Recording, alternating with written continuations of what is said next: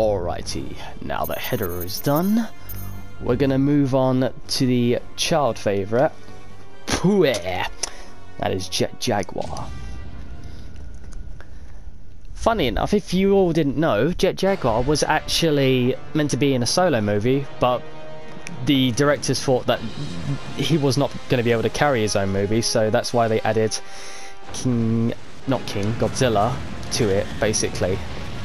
As you can tell, he's not really able to fucking hold his own here. Uh. Fuck off. He's got good motion though, I'll give him that.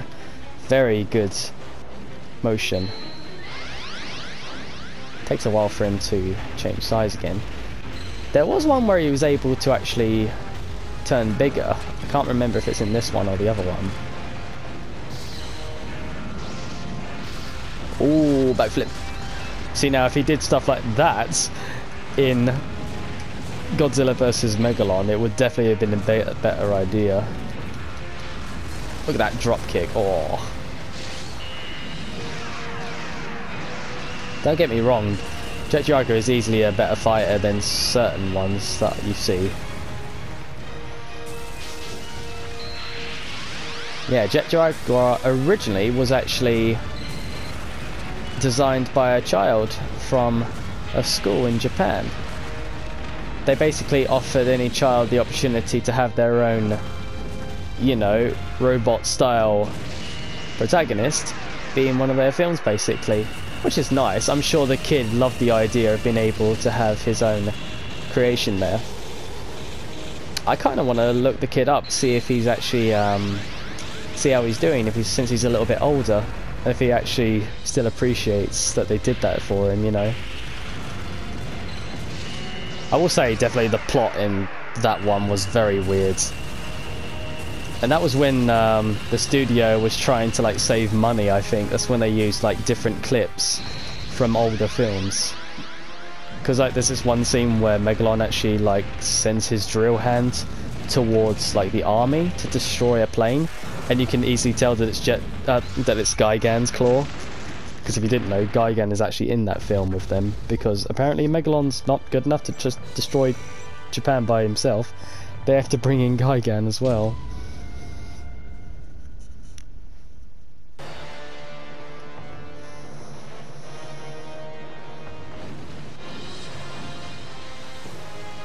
I quite like this map. I don't know why.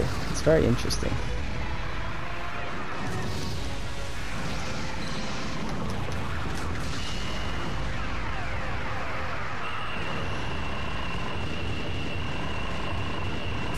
Damaging this is.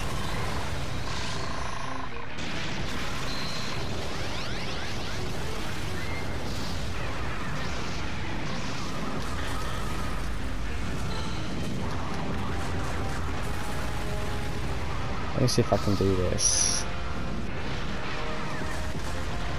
That's the wrong one.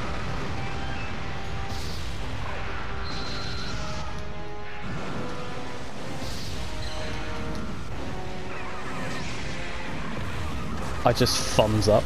I give him a thumbs up. Uh, I tell you what though, that film spawned like the greatest cheese fest moment of any Godzilla film. It was the drop kick. Oh, I thought Godzilla vs Astro Monster Victory Dance was cheesy. This one really takes the cake. It really takes the cheesecake not only does Godzilla like do the stupid ass fucking drop kick once, where he's like balancing on his tail and he's like flying through the sky towards Megalon, being held by Jet Jaguar. He does it twice, basically. It's so fucking good.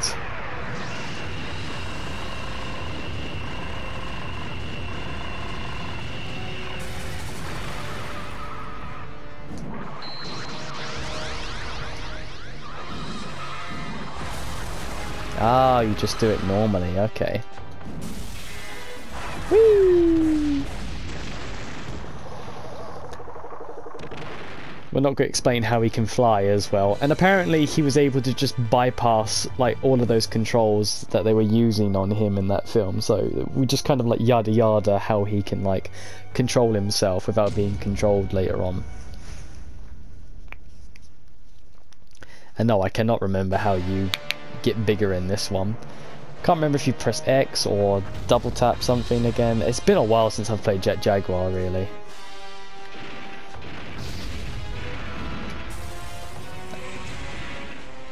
I have no idea what the thumb up does. Apparently I'm indestructible. Power of friendship.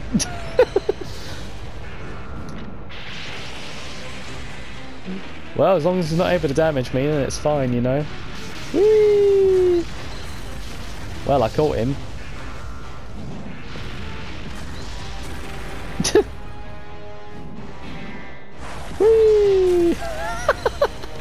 It's pretty fun.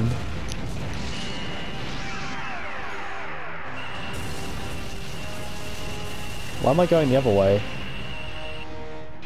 My controls were inverted there for a second. That was weird. No, not the spinny finger stuff. Oh. Bitch, take my drop kit. Yeah, I'm going backwards again. Why is it inverted? My controls are inverted, what the hell?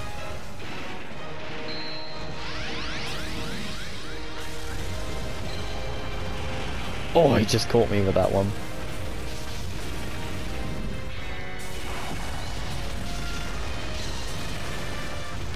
Thank God he turns around normally, because if he doesn't turn around, it just takes you forever to get to get face right again. But I kind of like it that you have very little control of your movements, because again, you're massive, you know, you're going to be a little bit slower than usual. I just love the whole idea of the diorama sets as well. Which is what kind of really bums me out when the Millennium series came around. They tried to go into more CG. And yes, the CGI was not really as good as it was back in the day, like in the early 2000s. I mean, they tried, but honestly, I feel like the diorama sets and the suits were a better option for like those early days because they were just so iconic and timeless. But the suit actors, they went through so much turmoil like there was an accident one time, well a few times actually, where um, a couple of the actors were either dehydrated or they nearly drowned or they were set on fire. Very dangerous. So maybe it is a good thing that they kind of stopped with the whole suits fiasco really.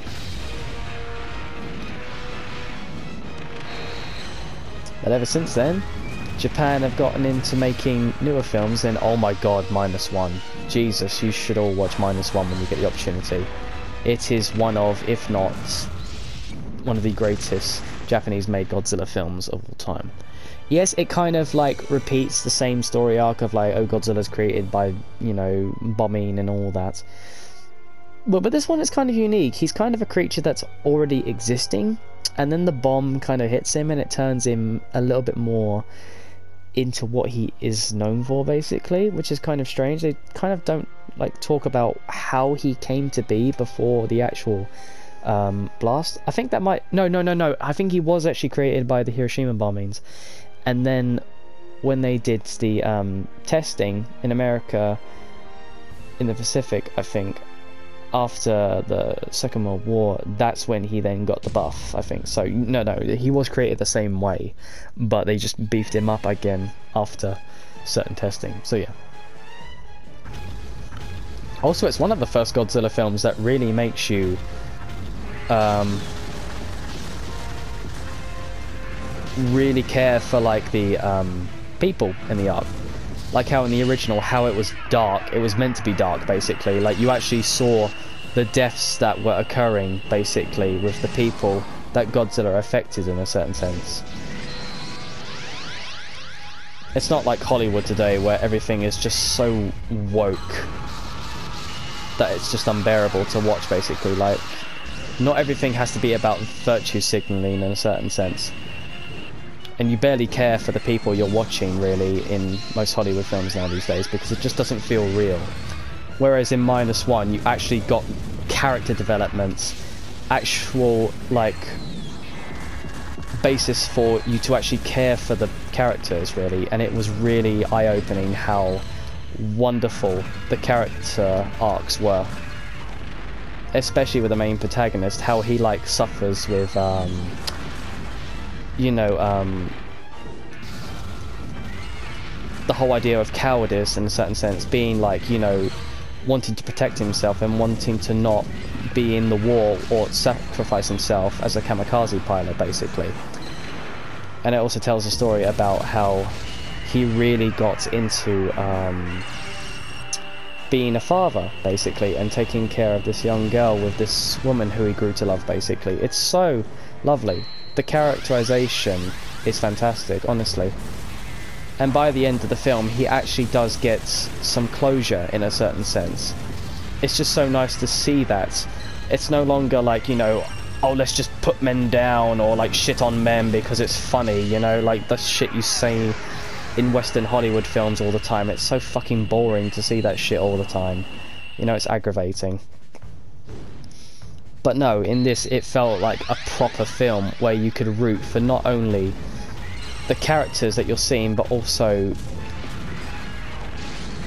hope that they do well with what they do, really, you know. It's a good film, I have to say. One of the best Godzilla films I've seen in a long while. Hey, if any film can put Hollywood to shame, then go right ahead, you know? The reason why this attack is not working is because Mothra is floating. There's not much I can do here against her. All I can do is just drop kick and hope that... Oh, I know. I know, I know, I know. Come at me! She came at me.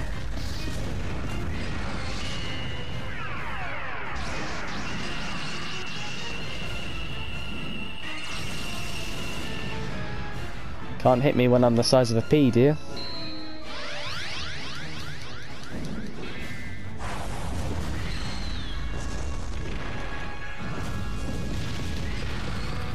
Jesus Christ. Fly! You're not the only one who can fly.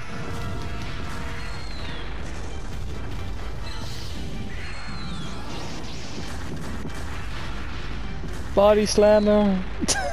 I'm sorry, Mothra. I'm sorry, dear. Oh.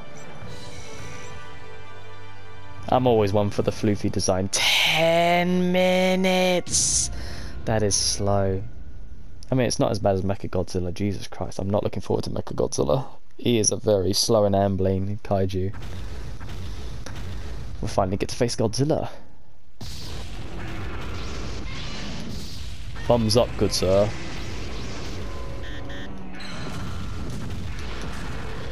Yeah, the drop kick is the only staggering thing, really.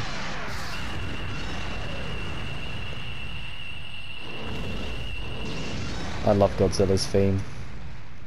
It is one of the most timeless theme songs you can ever hear. And to hear that song in like minus one played through certain sections, it was really good. It felt like the orchestra really kicked up a notch when they played his theme. It felt really good, very passionate. If there's one thing the Japanese do well, they do their creation Godzilla with pride, especially like with Shin Godzilla. I kind of like how they kind of switched the roles in a certain sense, where Godzilla wasn't like this malevolent creature that was just created out of like radiation and hate. He's just an animal in a certain sense, and he's scared, you know. So of course he's going to like attack and defend himself like he's an animal, you know. And the idea of him being able to evolve past the point of where he could like took over humanity is a frightening concept. Imagine if he had actually gotten that far to do that. Shin Godzilla could have easily been the best and most powerful kaiju if they just let him evolve in a certain sense. He could have been a really big force to be reckoned with, really. It kind of like puts the argument of like who's the greatest kaiju of all, and Shin is definitely up there if you let him evolve in a certain sense.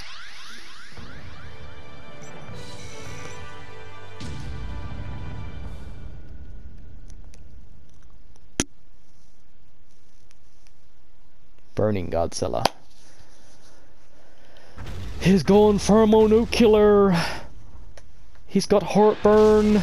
Holy shit, bitch. Oh god, no. Don't do me like this. Don't do me like this. No! No, no, no, you don't have to do this. You don't have to do this. No, don't do this. No, don't do this, Godzilla. No, don't do this, Godzilla. Don't do this. I've somewhat got behind him, but he's gonna, yep, he's just, yeah, I'm gonna get behind him, gonna get him, get him, get him, go. Oh my god, he fucking blasted me! No! Stop, you fucking whore! Uh, uh. Oh, I'm dead, I'm dead, I'm dead, I'm dead, I'm dead, I need to move. Move! Fuck! Run! Run away! Run away! Run away! No! Don't do this! No, don't do this! It's basically the dark and gritty fucking Millennium version of Godzilla versus the child-friendly Jet Jaguar. No! Stop! I'm trying to fucking defend myself here, you bastard!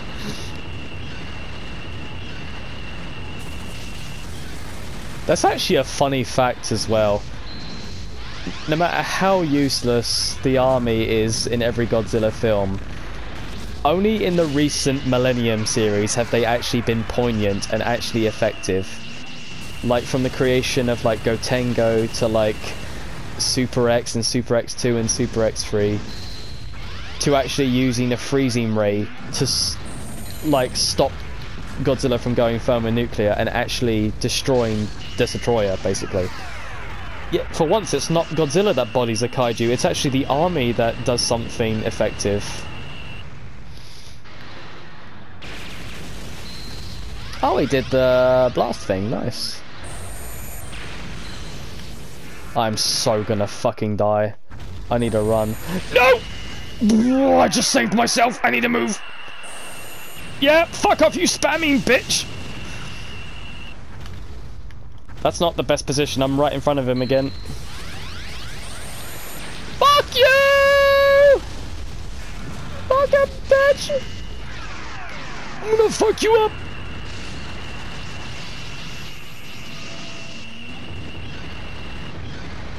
Oh god, I'm right in front of him again. No, no, no, no, no, no, no, no. Yes, do it while I'm... Okay.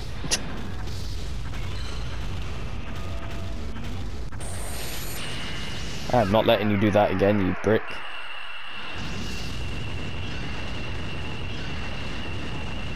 Oh. Jesus, thermonuclear Godzilla is definitely up there with the most powerful breath. Jesus. 15 minutes total. That is bad. That is bad. I think it's mostly just due to the fact that his moves are so time consuming to pull off effectively. Yeah, that final stage was the longest one at three minutes. Mecha Godzilla! Probably my favourite version of Mecha Godzilla because you can't beat the original. And the 1975 version of the Showa era Mecha Godzilla is just so timeless. And I loved the Showa era Godzilla in that film because he just looks so unique. Godzilla fights like a boxer in that film as well. It was quite nice to see the fight styles change from like early wrestling. Why are you running from me? You know what? Take this. and that's another thing. His head spins in the first and the original one, but it's only the second film in 1976 or 75. I, I can't quite remember the year. It was um Godzilla vs Mechagodzilla 2, where his head spins and Godzilla removes his head, and he has like an ability where he can like fire another beam at him. Whereas in the first one, although he can spin his head, he, Godzilla just like cuts his head off by pushing his head too far and it decapitates him. And I'm thinking, hang on, where's the consistency here?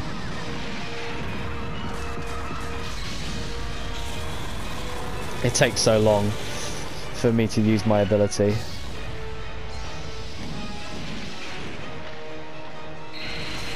Look at that.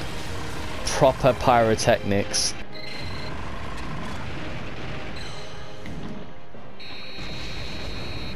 That's the sweeping one. How do I use the, uh... How do I use my finger rockets?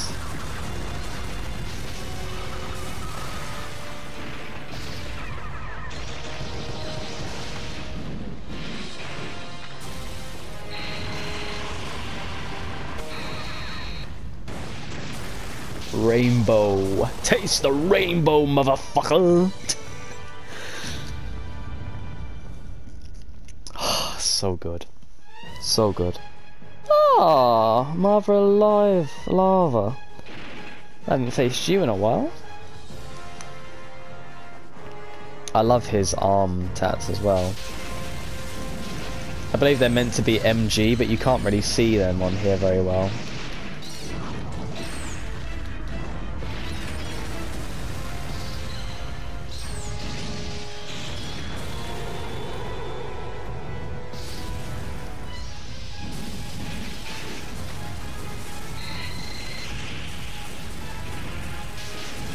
Very smart from Mothra, she moved.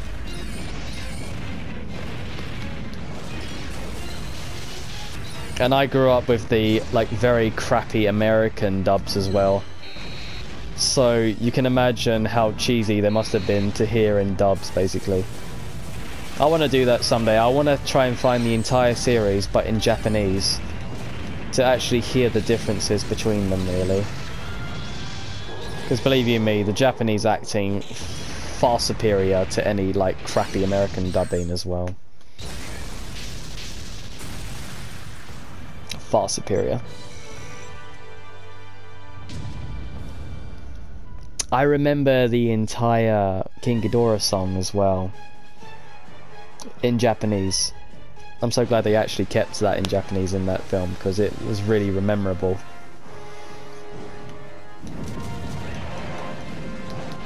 How does it go? It's like, um... No...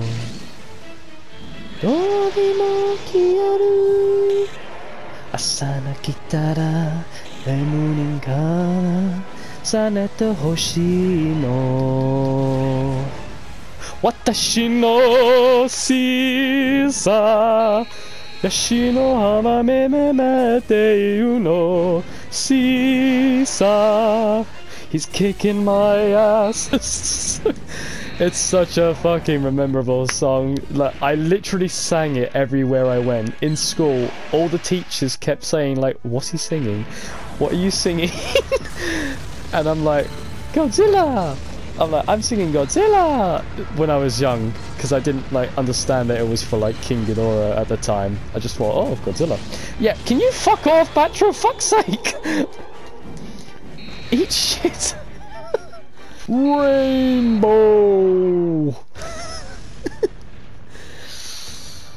oh, he's just so menacing there in the smoke, isn't he? Ah, the rematch. Anguirus. You couldn't beat me in Godzilla form, how can you handle me now? Oh, that's a good start. Sorry Mark, I've got to destroy your beloved kaiju.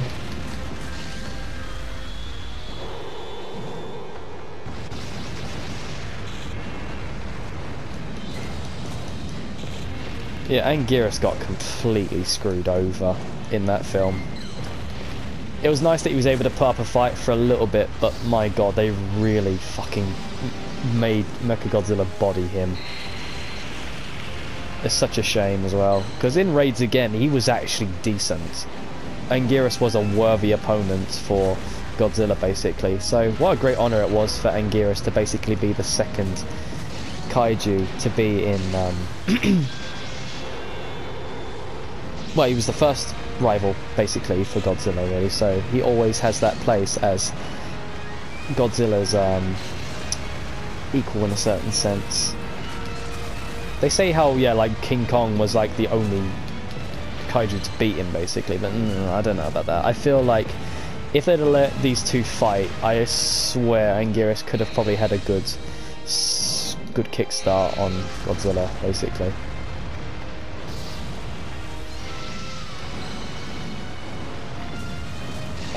Just managed to stop me.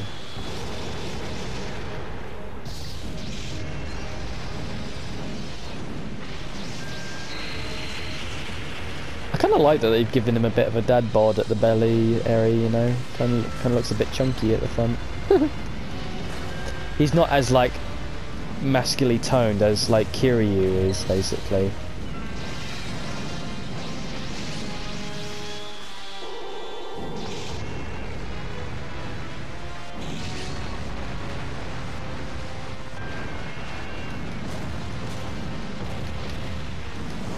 Goodbye, Anguirus for the second time.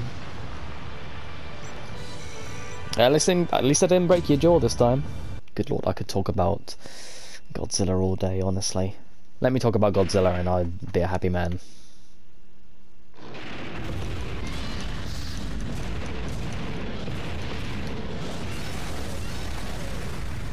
Damn that Godzilla. We'll see how much of a match you are from Mechagodzilla. Not much, it seems.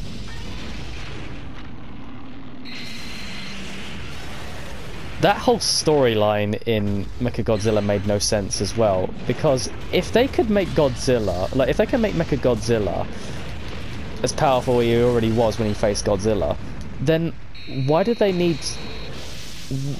Was it Dr. Mifune no, that was the original Doctor. I couldn't quite remember his name, but yeah.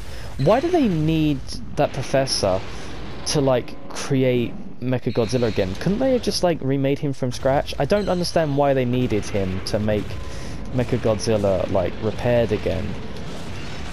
Maybe he had a better understanding of, like, the space titanium, and yes, that's what they call the metal, space titanium.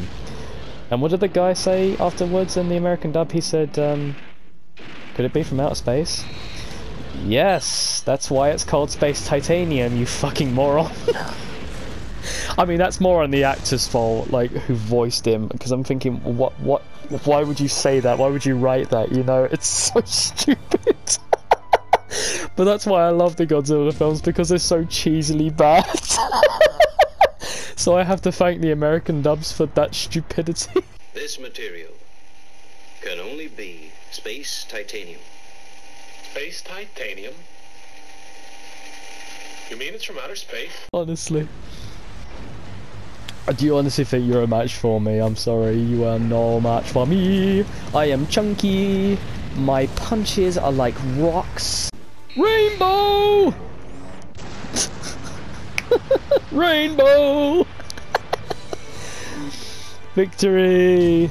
I'm just trying to think really if Mechagodzilla is even worth doing because he's kind of got the same techniques really. I'll leave that for you guys to decide. So, I will see you in the next episode. This is fun. I want to continue this until we at least get everyone done, basically, because I've got a lot to talk about with Godzilla, you know. So, I hope you guys are enjoying it, and if you're not, I don't give a rat's ass. Have a lovely day, lads and ladies. We use an Earthman that knows space technology.